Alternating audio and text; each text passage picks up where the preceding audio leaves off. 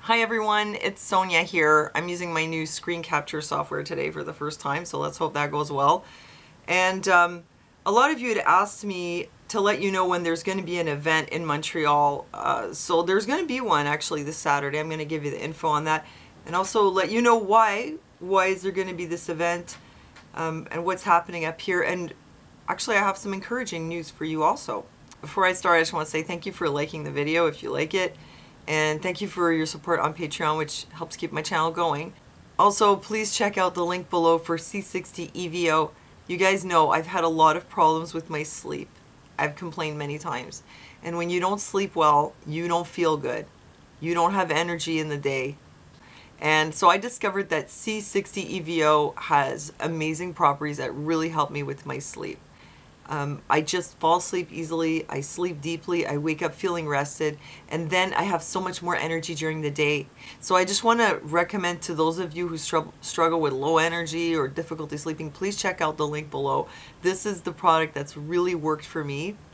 Um, and if you're interested, if you use the coupon, you will get a discount. So thank you for checking it out. Okay, so here's what's been going on in Montreal. As of um, the return to school after March break, students going all the way down to grade one have to wear masks all day in class. Uh, our government says, oh, don't worry about the kids. Children are resilient. They'll adapt. They'll be okay. Hmm. There's not really any data out there on what happens to kids when you put them under this kind of um, duress for a prolonged period of time. So we don't really know how resilient they are. Yes, kids are resilient, but actually children who've been separated from their caregiver or parent, you know, in, in early childhood or who've been traumatized can develop things like attachment disorder, which will last a lifetime. So there are certain kinds of experiences and trauma that will have permanent effects. So we don't really know uh, what the long-term effects will be, but a lot of parents um, already know that there are short-term effects, there are immediate effects. This video was posted online by a father addressing the government and telling the story. Here's the video right here. I'm going to give you the link. It's in French though. Telling the story about his little boy, who he says, you know, very positive, easygoing kid, you know, just a, a great kid, right?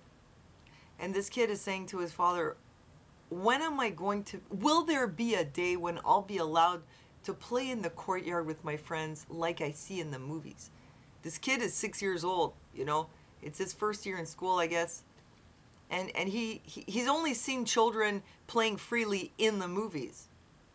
And then he says to his father, do you find that life is beautiful? And the father's like, yeah, well, you know, it's been hard lately, but life is beautiful. And this kid who's who's had his last birthday in lockdown with, with no friends and is facing now this next one coming up very soon to be the same, he says to his father, well, I don't, I don't find that life is beautiful. I don't like it. You know, the kid's getting depressed. So the toll, the toll is being taken.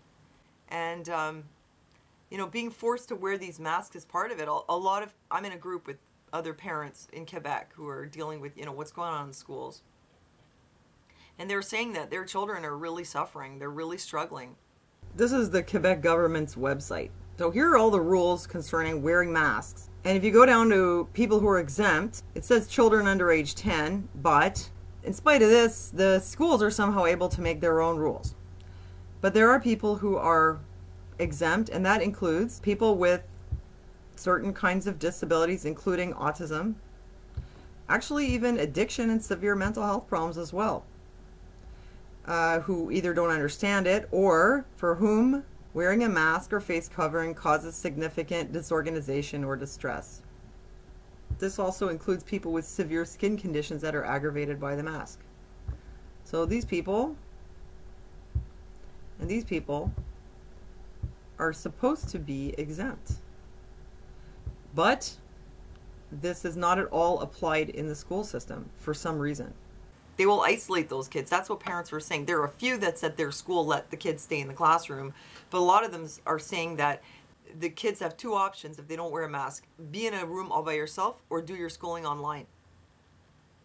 That that is not a reasonable accommodation. That is not uh, uh, you know, respecting the exemption for kids with special needs. Let's also keep in mind the question of are the current uh, mandates and restrictions that our children being subjected to are they in proportion to the state of the health emergency here in Montreal? Well, for one thing, um, in the entire last year, there have there have been no deaths in people under 20 whatsoever. No deaths in children. So that can't be a reason why they're making the kids do all these things. It can't be because their lives are at risk. They have been some hospitalizations of children. However, it has been admitted in the media that some of those hospitalizations, actually a lot of them, are not children who are in the hospital because of COVID. They're kids who come in for some other reason and then test positive on arrival. Also, it has included a lot of kids, like autistic kids who live in group homes, who were mildly ill but were sent to the hospital for isolation. So, in the last two weeks, there have been a total of 39 people who died of COVID in Montreal. Most of them were 80 years and over, but it's still sad. But is that a reason to do what they're doing to the children in the schools?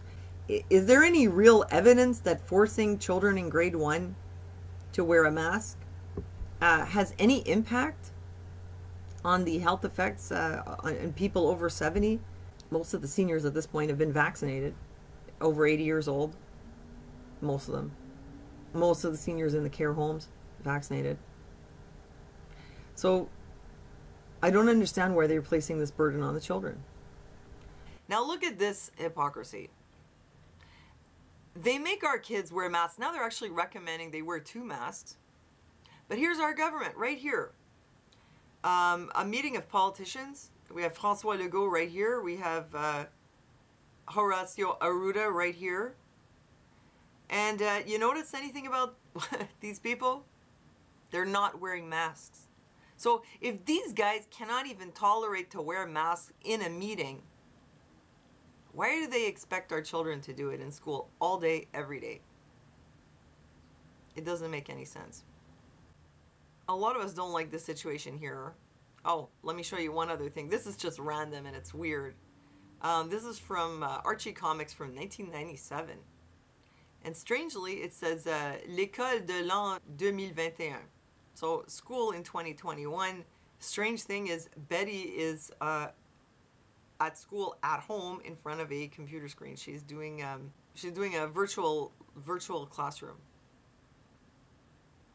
And there's the eye on the wall like Big Brother's watching you. And there's a camera right there on her.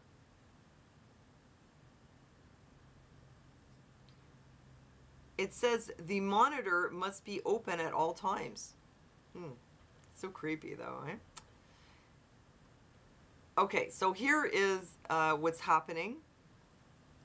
The 20th of March, that's this Saturday, 1 p.m., Place des Festivals, there is going to be a gathering I'm going to go there as a journalist and I'm going to record this and make a video so you guys can see what happened.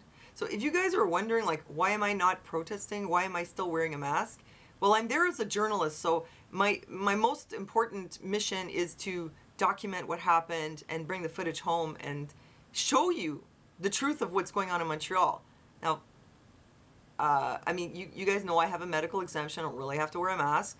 It's legit. It's legit outside especially would be legit at a protest even if they said you had to wear the mask at the protest. I do have a medical condition that's specified so i don't even have to wear one. But i don't want to waste my time drawing attention to myself um, getting pulled away from doing my job ticketed uh, you know for this thing and then having to get it thrown out in court. What's the point? I think that i'll do much more good for the world by making a video that will reach many people in different places than I could possibly do by walking in the street with no mask on my, my face. I do that every single day. I walk in the street with no mask every day. So, you know, I just don't think it's it's worth the battle for a protest. It seems totally pointless. Anyway, here's something that I'd like to show you that may encourage you. It's from uh, America's Frontline Doctors. Israel's Supreme Court orders COVID Iron Curtain lifted. So um, the the government of Israel had sort of decreed that not people couldn't just come in and out of Israel. They had a 30 a 3,000 passenger daily limit, which is going to be ending on the 20th of March. Okay, the, the court overruled the limits imposed by the government on the total number of passengers allowed to enter Israel by air each day. So they had said only 3,000 passengers could come in per day, but this is going to be abolished as of March 20th. And another thing was the court also ruled illegal requirements for travelers who lack both vaccination and recovery certificates to receive special permission to travel from a government committee, um, eliminating the need to receive exceptions committee approval. So the government had decided that unless you had a vaccination or, or a recovery certificate, remember the Green Pass, you would need special permission to travel from the exemptions committee. Okay, and the court ruled that um, this was illegal. So those seeking to leave Israel after this coming Saturday will not be required to receive exemptions committee permission.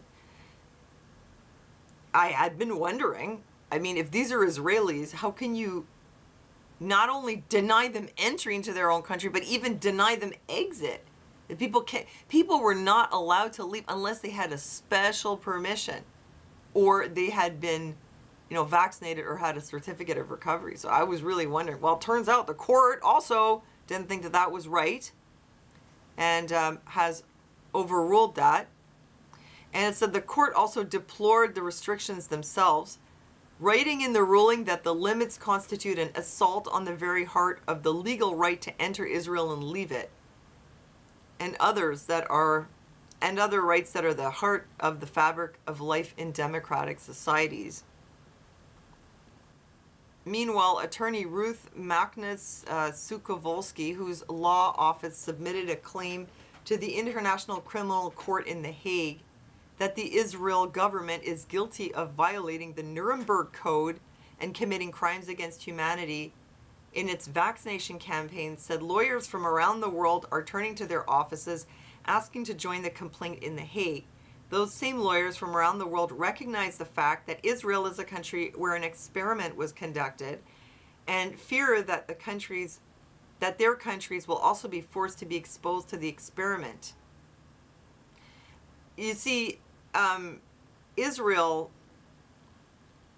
had created an agreement with Pfizer they made a deal with Pfizer where they exchanged doses of the vaccine from Pfizer for data from the recipients of the vaccine. So, of course, they wanted to vaccinate as many people as possible. I mean, they, they said they were going to encourage them. That's not mandatory. But you know, if you if you don't take it, there's nothing you can really do. So that's kind of actually like a coercion. Like if you don't take the vaccine, you can only go to the grocery store or the pharmacy. You will be left behind. That's what they had said. Which basically means you have to take it. You can't go anywhere. You may not even be able to go to work. So you can't really make a, a choice freely when those are your alternatives. So the Israeli government had made this deal with Pfizer so that Pfizer um, could get data, uh, which is none other than a clinical trial, like a big open one involving a huge, a huge population of a whole country. But that is actually what it is. Pfizer's taking all this data and using it, you know, for their safety and efficacy information on their product. The law office Monday sent a letter to Pfizer demanding an investigation regarding the Pfizer Netanyahu agreement, emphasizing Section 4.2.6 that discusses canceling the agreement as soon as a public investigation is opened. Wow, that's weird. Copies were sent to the FDA, the U.S. Attorney General, members of Congress, and the International Criminal Court in The Hague. Interesting. Here's one more thing. High Court halts transfer of info on unvaccinated to local authorities. That was another thing Israel was doing. They were um, collecting all this data on who had had the shot and who hadn't, and they were going to hand it over to local authorities. But of course, uh, this you know breaches people's privacy. Judges ordered state bodies to explain why law allowing health ministry to hand over details on those who are not inoculated is in effect. So the top court issued a temporary injunction barring the health ministry from doing this. So they're going to have to, you know, explain uh, why the legislation allowing them to do this is, has not been scrapped. Uh, you know, if they don't come up with a really good reason, it's probably going to be deemed illegal. See, the judge cited laws harming of the constitutional right to privacy guaranteed in Israel's quasi-constitutional basic laws. So there's actually some follow-up on a legal end concerning what Israel has been doing because of the entire world their approach was the most draconian. And a lot of us were looking in, at this and saying, well, can, can they get away with this? Is this going to be the, the new way of doing things? Uh, but it's being challenged. And you know, the protests, like, or the events or gatherings, like the one that's going to happen Saturday, that in and of itself doesn't actually do anything. Uh, it just shows the government, hey, we're here and we're not happy. You have a right to protest. The government also has a right to ignore you. Petitions can sometimes help because they could get it on the agenda so it's discussed, you know, in the in the parliament or in the, the National Assembly or wherever. Your your representative may bring it forward. Um, writing to your representative, your your me- member of parliament or your member of the National Assembly, that may actually do more good, especially if you create actually a petition and and then attach a letter and then send that. Uh, that's probably the best way because then it has to be brought up. This organization here, Justice Center for Constitutional Freedoms, they are waging the battle on the legal front. A legal organization, federally registered charity that defends citizens' fundamental freedoms under the Canadian Charter of Rights and Freedoms through pro bono legal representation and through educating Canadians about the free society. So this is a organization that you know is con- contesting things that they consider to go against the charter, um, such as a lot of these COVID tickets, which with the help of these lawyers were then thrown out because actually they don't hold up under scrutiny. Um, the hotel quarantines and travel restrictions. See, on, on that end, on the legal end, um, th- this can really make a difference. You know, if you feel like your government is just walking all over you, one of the best ways to fight that is to challenge when they walk all over you, to take it to court. So check out this website. And, you know, the whole time it's been a case of uh, rules for thee, but not for me. A lot of people are very upset with that. Uh, don't forget, this weekend, March 20th, if you want to show support, um, they'll be meeting at Place des Festivals, which is like down by Place des Arts and uh, I will be there. And if you can't make it, I'll I'll take video and I'll show you what happens. So that's it, you guys. Uh, I hope you found that information uh, interesting and useful, and encouraging. That you know, just because it's the government doesn't mean they can just do whatever they want and throw our charter rights out the window. It's important that we have those rights. They're what protect us, protect our democracy. Otherwise, we can end up in what you call a dictatorship. So um, I'm keeping an eye on this. So thank you for liking the video. Thanks again for your support on Patreon. Please check out the link below for C60 EVO, which has been so helpful for me. And uh, so you can get a discount also. And thanks for joining me in the chat. Thanks for listening to me. And I'll see you next time.